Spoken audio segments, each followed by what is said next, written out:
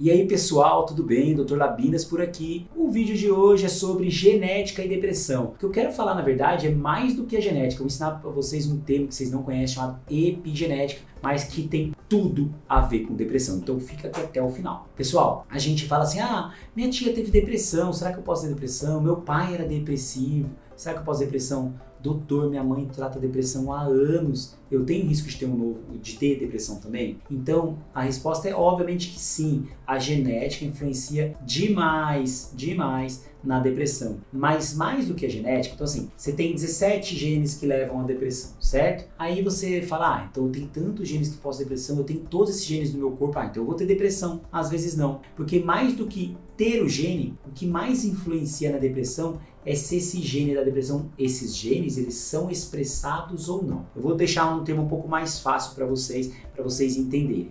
Quando a gente fala de o gene ser expressado, significa o quê? Vamos pensar na, nos genes da depressão como um interruptor. Então, os genes da depressão estão desligados e eles têm que ficar desligados. E os genes da resiliência, são os genes que previnem a depressão, eles têm que estar ligados, porque eles têm que ter uma coisa que previne a depressão, certo? O que acontece? Por conta do ambiente, eu vou explicar o que, que é isso. Por conta do ambiente, os genes que eram para estar desligados, eles ligam, e os que eram para estar desligados da resiliência, eles desligam. E aí a pessoa começa a ter sintomas de, de depressão, desenvolve a depressão. Então isso é epigenética, é esse ambiente influenciando essa expressão dos genes. Tá, mas o que você considera então como ambiente, né, Dudu? O que é esse ambiente mudando os meus genes? São traumas na infância, viver sobre violência na infância, abuso físico, abuso, abuso sexual, negligência dos seus pais, um, bullying na escola é um fator conhecido, o uso de algumas drogas, principalmente o uso abusivo de algumas drogas. Se você vive um luto de alguém, de um doente querido, uma pessoa muito amada, ou uma perda, né? De repente até uma perda de um pet, por exemplo, também é um fator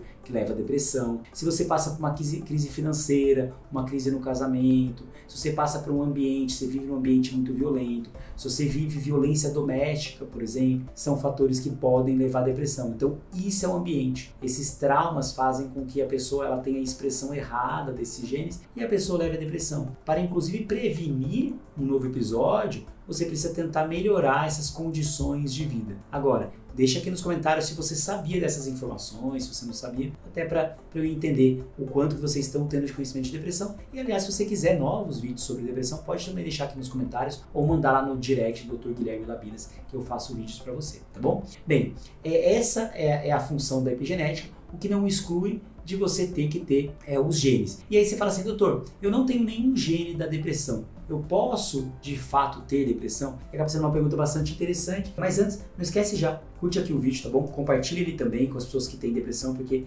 pode ajudar muita gente essas informações. Se você não tem nenhum gene da depressão, é, que poderia propiciar, é muito difícil você desenvolver depressão. O que acontece é que os genes da depressão são amplamente frequentes na população. Então, você, como são muitos genes, às vezes você tem um só. E o fato de você ter um, você poderia ter, desde que o ambiente mudasse essa expressão. Mas quem não tem genética favorável para isso, e aí tem de repente genes de muita resiliência, dificilmente ou é quase impossível, né? É difícil falar impossível dentro da medicina, mas dificilmente você vai desenvolver um episódio depressivo. Agora, não é costumeiro você pedir exame genético para avaliar a depressão. Um, porque é muito caro, outro porque, como é muito frequente, dificilmente ah, você não tem algum tipo de, gen de genética para isso, tá ok? É isso. Se você gostou do vídeo, não esquece então de curtir, compartilhar, comentar e não esqueça, toda segunda e quinta-feira tem vídeo novo aqui no canal. Um grande abraço.